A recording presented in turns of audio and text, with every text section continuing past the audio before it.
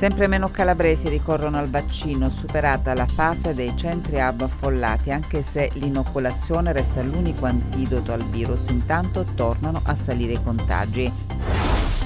Le decisioni assunte dal governo giudicate positive da Confindustria e sindacati, anche se per la Calabria occorre fare molto di più. Ennesimo appello dei sindaci, completate la strada del Medio Savuto, sono 30 anni che aspettiamo, sarebbe una valida alternativa alle perenni disfunzioni della A2. Si è incatenato davanti al Tribunale di Lamezia Terme per protestare contro la chiusura della sua discoteca il 31 marzo per problemi legati alle misure anti-Covid. L'ex assessore al comune di Reggio, Angela Marcianò, incontra i giornalisti per affrontare i temi legati alla sua esperienza nel municipio della città dello Stretto, sostenendo che l'ente ha un debito di 700 milioni di euro. Buonasera dalla redazione del TG10. Dunque in apertura i temi legati alla pandemia, i numeri dei contagi in Calabria sono ancora preoccupanti anche se per fortuna la pressione sugli ospedali si è allentata. Intanto per quanto riguarda le vaccinazioni, flop della quarta dose, ma gli esperti consigliano di non abbassare la guardia. Complici le temperature tiepide l'allentamento delle misure via da ieri le mascherine, soprattutto all'aperto, nelle città anche in quelle calabresi si respira un clima di normalità, di ritorno al pre-pandemia, ma i contagi, viste le nuove varianti, l'ultima la Omicron 4, scoperta a Reggio Calabria con il supporto dell'Unical, i contagi, dicevamo, hanno numeri ancora importanti, una situazione complessiva che sottolineano gli esperti non è da liberi tutti. La pandemia adesso è caratterizzata da che cosa? Da un elevato numero di casi, che la maggior parte però sono appunto casi abbastanza lievi. Eh, è diminuita la pressione sugli ospedali, soprattutto sulle terapie intensive, però nei reparti Covid ordinari rimane ancora una discreta presenza di pazienti, questo non dobbiamo dimenticarlo. La letalità si è molto abbassata, tuttavia anche in Calabria continuiamo a registrare diciamo, ogni giorno un numero di morti che va dai 5 ai 10 quindi che significa che il pericolo non è passato del tutto. I medici di base potranno prescrivere già in questi giorni il farmaco antivirale orale contro il Covid indicato nel trattamento degli adulti a rischio. Il farmaco arriverà in Calabria dopo il 10 maggio, ma la Regione ha deciso di utilizzare parte delle proprie scorte per rifornire depositi e farmacie. La campagna vaccinale intanto, soprattutto la quarta dose, non decolla. Abbiamo, questo a livello nazionale, dei numeri molto bassi bassi, dei numeri del, del 10% di adesione. Ecco, questo deve farci pensare. Evidentemente la vaccinazione non è più vissuta come una priorità. Tornano a salire i contagi in Calabria ma con più tamponi processati. Nel dettaglio, nelle ultime 24 ore sono stati 2.284 i contagi registrati su 10.318 tamponi. Il tasso di positività sale al 22,14% e il Cosentino all'area dove si registrano più casi confermati sono 766, segue Catanzaro con 686. Diminuisce la pressione sugli ospedali, meno 6 in reparto per un totale di 251 pazienti ricoverati, meno 3 in rianimazione per un totale di 15 posti letto occupati. Oggi si registrano altri 6 decessi che portano il totale delle vittime da inizio pandemia a 2515. Cambiamo argomento, oggi la riunione del Consiglio regionale è stata approvata la legge sul precariato storico. I lavori del Consiglio regionale convocato dal Presidente Mancuso sono iniziati con l'informativa del Presidente dell'Aggiunto Occhiuto sull'avvertenza Calabria da sottoporre all'attenzione del Governo centrale e sull'incontro che il Governatore ha avuto il 21 aprile a Roma con i segretari generali nazionali dei sindacati. Ammodernamento della 106, Porto di Gioia Tauro, zona economica speciale, zona logistica speciale, alta velocità ferroviaria, energie rinnovabili e sanità. Sono questi gli argomenti che hanno per larga parte parte caratterizzato l'informativa al Consiglio regionale del Presidente della Giunta. Non si può governare da soli, ha ribadito più volte Occhiuto. Poi la discussione sui nove punti all'ordine del giorno della riunione del Consiglio regionale, tra questi la proposta di legge per la storicizzazione del precariato storico. Una seduta di consiglio abbastanza proficua, sono stati approvati dei provvedimenti importanti, uno su tutti quella del precariato, eh, che dimostra come eh, quello che ha detto Chiuto all'inizio legislatura si sta eh, diciamo, realizzando, cioè fino al precariato storico. Eh, questo è uno di, di, di, delle, delle, delle parti del precariato, noi dovremo intervenire anche su altro, come i precari della legge 12 che non sono più in servizio, stiamo cercando la soluzione per poter far rientrare anche questi soggetti in una eh, regolarizzazione e stabilizzazione. Poi è stata approvata un'altra legge molto importante, quella dell'istituzione delle case famiglia per eh, soggetti giovani e minori colpiti dal provvedimento dell'autorità giudiziaria, eh, ritengo che sia una, un, un, provvedimento importante perché evita che tanti giovani calabresi colpiti da provvedimenti dell'autorità giudiziaria vadano a scontare eh, diciamo, i provvedimenti in case famiglia fuori regione come sempre avviene e quindi anche questo ritengo un provvedimento importante. Le decisioni assunte dal governo sono giudicate positive da Confindustria e sindacati, anche se per la Calabria occorre fare molto di più.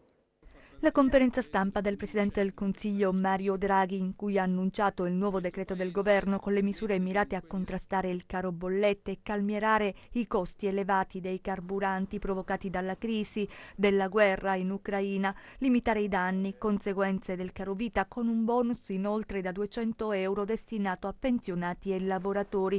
I provvedimenti sono sufficienti, secondo il sindacato, anche per una realtà economica fragile come la Calabria. La misura individuata come bonus eh, crediamo sia insufficiente, un fatto positivo ma insufficiente. Il governo ha dato segnali di apertura, ma i segnali di apertura poi devono essere correlati anche eh, da misure concrete. Eh, non ci sono risposte per le fasce sociali più deboli e soprattutto per i territori più deboli. In questo momento la Calabria rischia di pagare il prezzo più alto eh, della crisi nazionale e internazionale dovuta sia alla pandemia che alla guerra e quindi bisogna che le regioni che sono il sud del sud come la Calabria possano essere sostenute con azioni mirate. Nel decreto previsti sostegni per le imprese, ma un'industria, sebbene approvi lo sforzo del governo, lo ritiene non adeguato alle difficoltà fronteggiate dalle aziende. L'impegno del governo è un impegno importantissimo sono 14 miliardi e eh, devo dire, non posso dire che non sia un impegno importante. L'emergenza però è eh, sicuramente di proporzioni eh, estremamente eh, grandi e quindi abbiamo bisogno di misure estremamente emergenziali. A questo bisognerebbe aggiungere misure co- come quelle che sono arrivate durante il periodo della pandemia, misure di tipo finanziario, per esempio una misura che ha funzionato molto bene, che è quella delle moratorie, potrebbe aiutare le imprese a non rinunciare ai propri investimenti. Eh, credo che quindi il governo debba fare qualcosa in più. Ennesimo appello dei sindaci, completate la strada del Medio Savuto, sono 30 anni, dicono, che aspettiamo. Una semplice ricerca sulla rete svela tutta una storia lunga 30 anni della strada del Medio Savuto, un'arteria che doveva collegare di fatto Cosenza a Catanzaro, diventando una vera alternativa all'autostrada, ma ad oggi la strada non c'è e dei 35 chilometri previsti solo una decina sono quelli completati. La Medio Savuto, una strada incompiuta, una cattedrale nel deserto.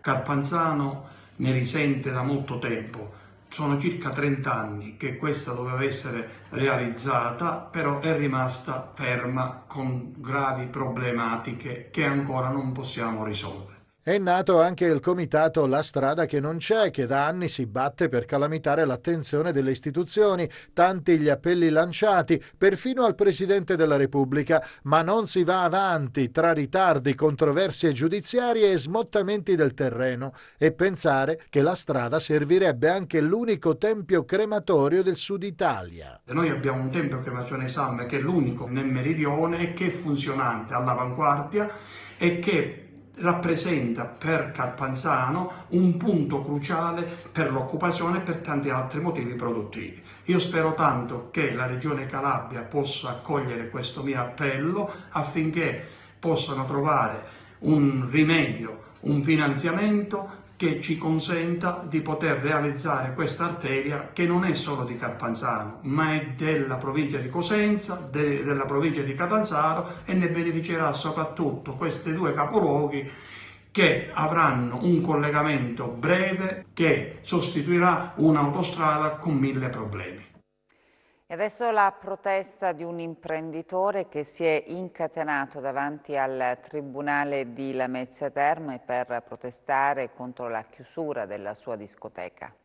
Franco Palmieri, imprenditore di Lamezia, mostra tutta la sua disperazione con questo gesto. Si è incatenato davanti al tribunale per manifestare contro il sequestro della sua discoteca dopo un controllo della Guardia di Finanza. Il locale, che si trova a Feroleto Antico, dal 31 marzo è chiuso per alcune irregolarità nella documentazione amministrativa. Praticamente sono qua perché abbiamo subito il sequestro preventivo della nostra struttura. Eh, stiamo chiedendo facendo, visto che abbiamo presentato tutte le nuove documentazioni del dissequestro per poter tornare a lavorare, fermo restando l'aspetto penale che seguirà il suo corso e che poi ci vedrà chiaramente di fronte ad, altri, ad altre decisioni, altri impegni. Aspettiamo con molta fiducia, perché abbiamo molta fiducia nella magistratura, abbiamo molta fiducia anche nelle forze dell'ordine. E il fatto stesso che io sia qua in maniera molto semplice, tranquilla, pacata, è molto rispettosa nei ruoli di tutti quanti.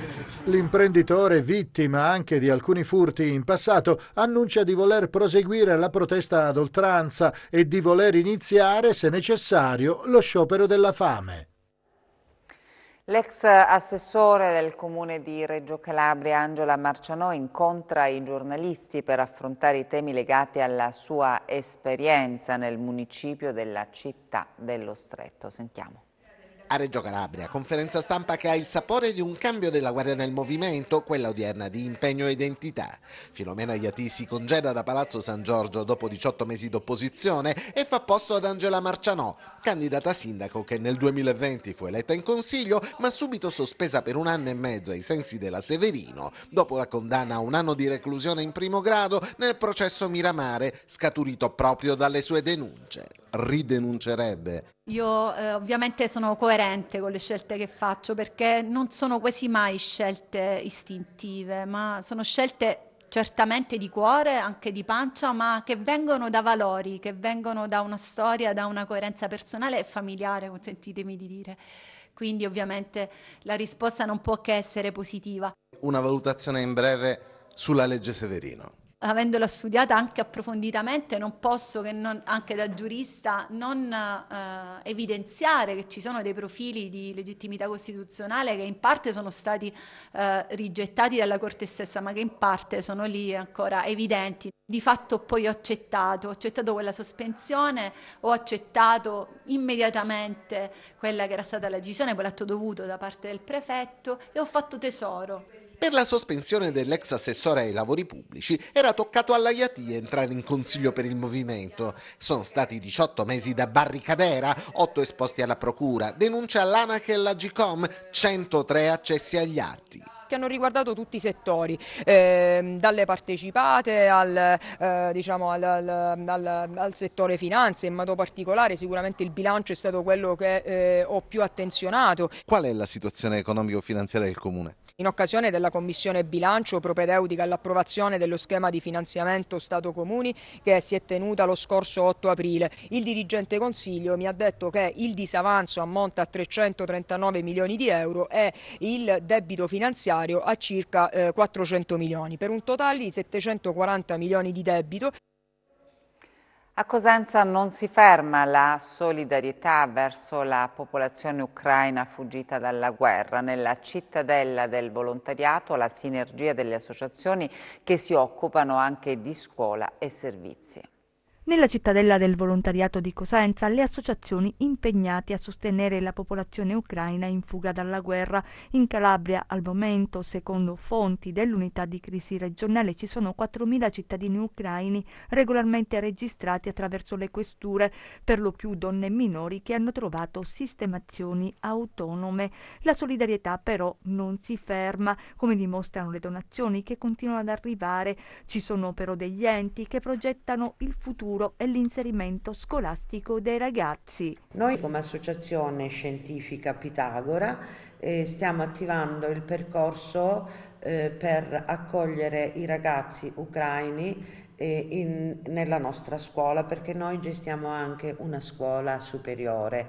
Abbiamo avviato le procedure però ancora non abbiamo ricevuto eh, nessun input. Attivo infine lo sportello gestito dall'Associazione Sociale Ucraina Calabresi Solidarietà, Aiuto, Libertà e Origini, aperto il martedì mattina e il venerdì pomeriggio, fornirà informazioni e supporto sulle pratiche burocratiche.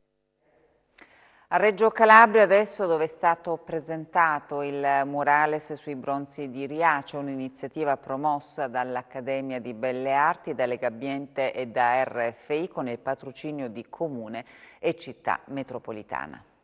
È stato presentato questa mattina a Reggio Calabria, nell'area del Tempietto, il murales tematico sui bronzi di Riace, realizzato in occasione della Corrireggio 2022, un'iniziativa a 50 anni dal ritrovamento dei bronzi, promossa dall'Accademia di Belle Arti, da Legambiente e Rete Ferroviaria Italiana, con il patrocinio del Comune e della città metropolitana di Reggio Calabria è qualcosa di importante anche perché se puntiamo sul turismo dobbiamo anche presentare una città bella, elegante, pulita, eh, in quest'area che tra qualche mese inizieranno i lavori di riqualificazione di quest'area Tempietto che vorremmo restituire alla città eh, fra qualche settimana verrà anche la ruota panoramica e eh, come dire, eh, diamo anche questa parte centrale della città a, a tutti i cittadini. Eh, io devo ringraziare anche l'Accademia delle Belle Arti che ha fatto anche questo murales,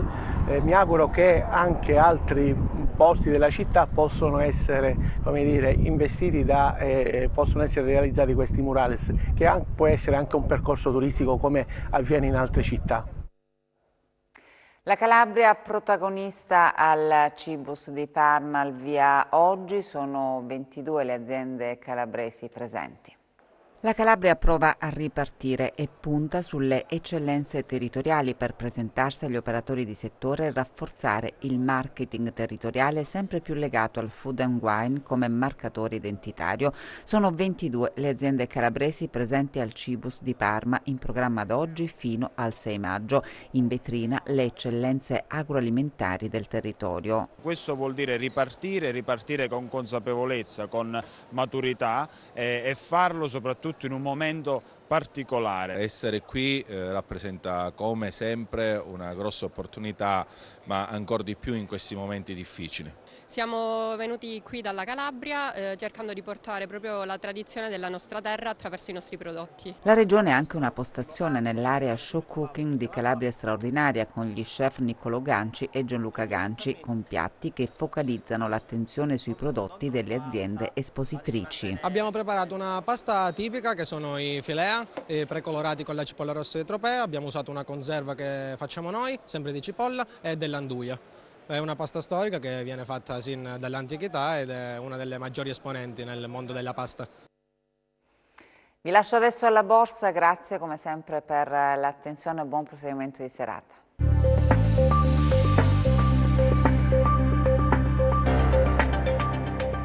Le borse europee chiudono in rialzo e Wall Street procede sopra la parità. Cresce l'attesa per la riunione della Federal Reserve che domani dovrebbe annunciare un rialzo dei tassi di interesse pari a 50 punti base e un target intorno al 2,5% entro fine anno. A seguire giovedì toccherà la Bank of England mentre gli operatori stimano 3-4 ritocchi da 25 punti base da parte della BCE nel corso del 2022. L'inasprimento della politica monetaria a livello globale è finalizzato a contrastare l'elevata inflazione inflazione, alimentata anche dal rincaro dell'energia a seguito dell'invasione russa in Ucraina. Tuttavia la stretta delle banche centrali rischia di rallentare ulteriormente l'economia globale, già colpita dalla guerra, dal lockdown in Cina e dai conseguenti problemi nella supply chain. Il presidente francese Emmanuel Macron ha tenuto una telefonata di due ore con Vladimir Putin in cui i leader hanno discusso di Mariupol mentre la Russia ha scongiurato nuovamente il default tecnico rispettando il pagamento delle cedole in dollari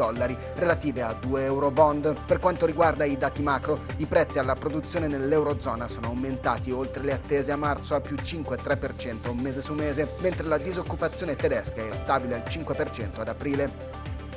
Così il Fuzimib di Milano chiude in progresso dell'1,6%, bene anche l'Ibex 35 di Madrid a più 1,7%, più arretrati il CAC 40 di Parigi a più 0,8%, il DAX di Francoforte a più 0,7%, il Fuzzi 100 di Londra a più 0,2%. Oltreoceano avanzano dopo un avvio prudente il Dow Jones a più 0,6%, l'S&P 500 a più 0,9%, il Nasdaq a più 0,3%. Sul Forex l'euro-dollaro recupera terreno, riportandosi a 1,054, mentre il dollaro yen è sceso nuovamente poco sotto quota a 130. In ribasso le quotazioni del greggio con il Brent a meno 1,5% a 105,9 dollari e il VTI a meno 1,7% a 103,35 dollari. Sull'obbligazionario il BTP Bund si amplia a 191 punti base con il rendimento del decennale italiano al 2,87%.